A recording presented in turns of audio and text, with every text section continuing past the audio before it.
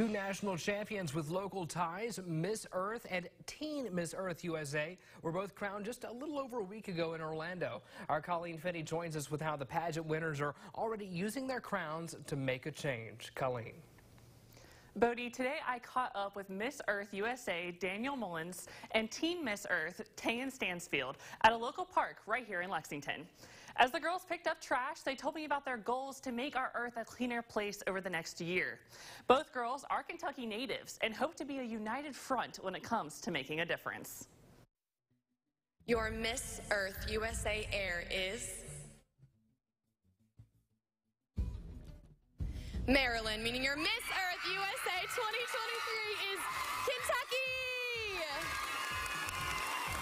They keep messaging me, you know, have you slept? Have you relaxed? But I'm still just on that adrenaline high and ready to get involved in everything I can. I've I don't know that I've slept. I don't I don't want to sleep. I just, you know, I only have a year, but I want to make the most of every opportunity I have possible.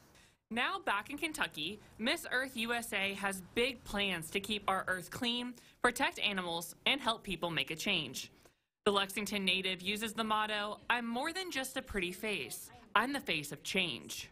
Our focus is service through the environment. We're truly Beauties for Cause. We have a nonprofit, B4AC USA, and that's our mission is that showing the world yes, we're a pretty face and we love the sport of pageantry, but we're so much more than that, and we have a heart for service focusing on the environment.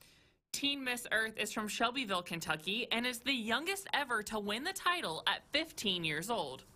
She's using her crown to not only help the environment, but to be an advocate for mental health, especially in teens. One of the biggest things I want to do is I want to teach young girls about self-affirmations and how to truly believe in yourself. Because I've gone on this journey of being authentically me, and I want to help young people all around the nation be able to be authentically themselves and not be scared to show who they really are. When it comes to saving our planet, the girls encourage that it only takes something small, like recycling used makeup products or going vegan once a week to slow your carbon footprint.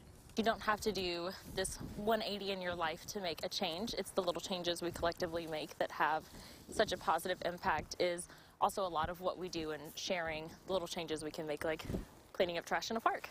I would just encourage them to get out and not be afraid to do a cleanup to help someone in their community because not only does it help keep our earth clean and happy, it helps you get out of your own head and it's a really great coping mechanism for people who struggle with mental health. The girls told me that the fun has just begun. They have many projects and goals that they'll be tackling over the course of 2023 to keep our planet and brains happy. Miss Earth USA will be making her way to Vietnam to compete for the title of Miss Earth. To follow along on their journey, head to this story on fox56news.com.